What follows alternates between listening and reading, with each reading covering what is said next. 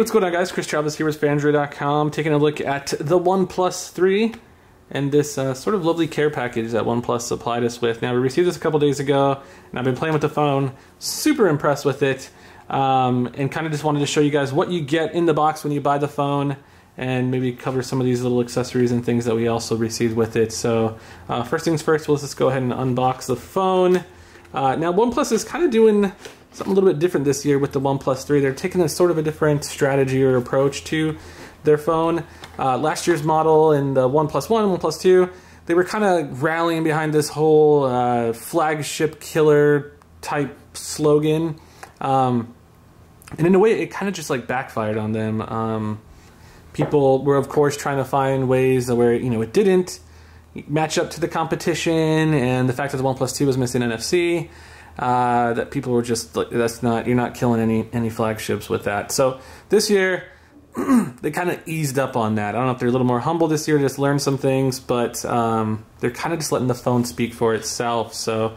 Um, and that's exactly what this phone does. it's it's pretty darn amazing. So you get pretty much flagship quality specs uh, in a price tag that's probably more or less along the lines of like a uh, mid-range phone. So that $400 and you get, you know, Snapdragon 820 processor, 6 gigabytes of RAM, big battery, gorgeous big display, fingerprint sensor, all that good stuff. So it easily matches, you know, HTC 10, Samsung, all these other big smartphone manufacturers, but, you know, it comes in at about 200 or maybe even $300 less uh, than what those guys are asking. And that's pretty, pretty damn impressive, especially considering the quality of the phone you're getting here. So anodized aluminum unibody display or uh, casing, and it's absolutely gorgeous. Uh, there were concerns that you know this looked very similar to, say, uh, HTC One M9 or maybe even the iPhone. You do have the same billet drilled little holes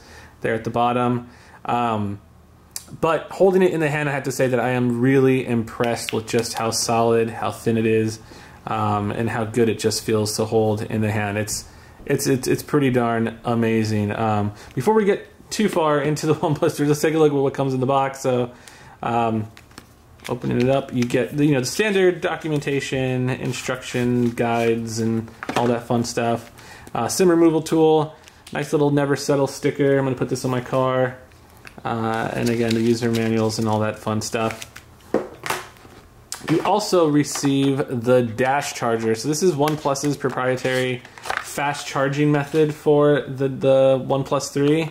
Uh, and it's capable of delivering over 60% of battery in less than a 30 minutes of, of charge, of charging time. Damn impressive. But you have to use the power adapter that's included and this Type-C cable to Type A uh, in order to reap those benefits. So these, you'll need to hang on to these. And you could actually order extra from their website as well.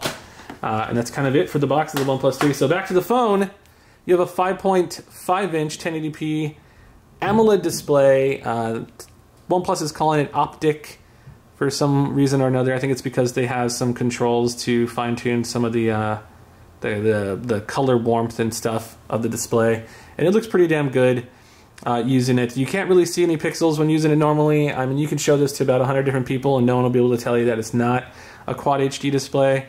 Uh, 1080p is more than fine for something of this size, uh, and I'm pretty darn impressed with it. Uh, you have capacitive buttons on the front, here and here, and you have a really lightning quick fingerprint sensor. You can see how fast that thing just works. So, um, again, all of this amazingness in a phone that's uh, 400 bucks. I don't know how they did it. Um, 60 megapixel camera with OIS, uh, and it uses electronic image stabilization as well. Uh, LED flash, 8 megapixel camera on the front. Uh, the sensor is a Sony uh, IMX298, which is pretty much the same one you would find in the Huawei Mate 8 and a couple of other devices. So it's not commonly used, but uh, camera quality was was good. was was very very decent, um, especially considering the price tag. Um, also inside, 64 gigabytes of internal storage, which is pretty darn nuts considering, again, the pricing. 64 gigabytes. So there's only one model. So you just get the 64 gigabytes internal storage model. There's only one color, which is this kind of graphite color that you see here. uh, or space gray, I believe, as Apple calls it. Um, and it's it's absolutely gorgeous. There is NFC this time around, so you can use Android Pay and other things that use NFC. So there really are very little shortcomings when it comes to the phone. Dual SIM card slot there, uh, and you get OnePlus's trademark little volume slider or the um, notification slider, so you can change between priority, all notifications, priority, and um, no notifications at all. Super handy to have a physical button for that, and I love, absolutely love it. Uh, and it's just so darn thin and amazing. Uh, the other cool thing about the phone, Snapdragon 820 processor, so it's incredibly fast. It's easily one of the fastest phones I have ever used in my life, and I've, I've been looking for something that has matched the 6P in terms of speed, and this definitely does that. The 6 gigabytes of RAM is also incredibly nice. Uh, let me see if I can just show you how that, that looks. so you have a lot of background apps that are open. Things very rarely close out. Uh, once you open the app, it just kind of stays there. Uh, there have been some people that have been sort of ooh investigating some things. Uh, camera opens up super quick as well, and found that you know it kind of taps out at about 12 apps open in the background.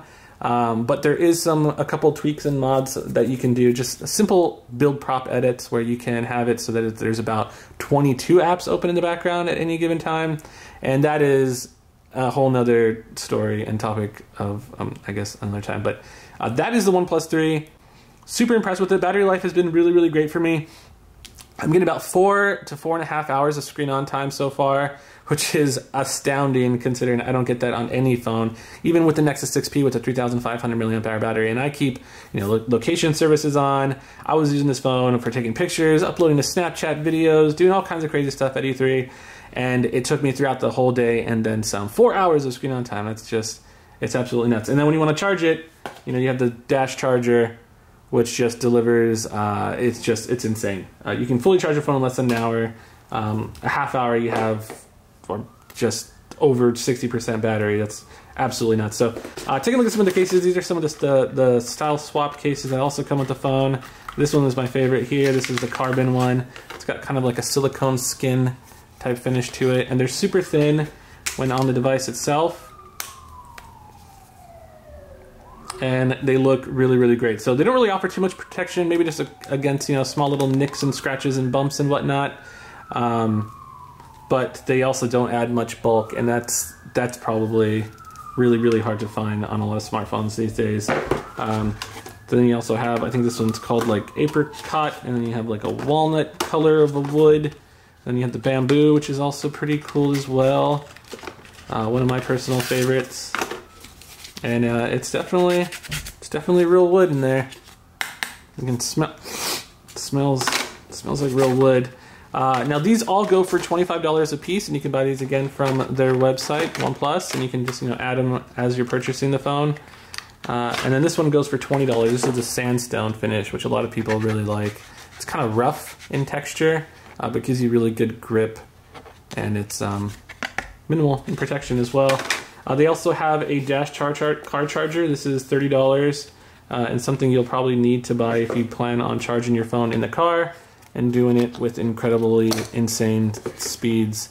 Uh, build quality, like most things OnePlus, is pretty darn nice. Uh, very high quality. It's like a nail file aluminum thing there. Wow. Awesome. So that is the OnePlus 3.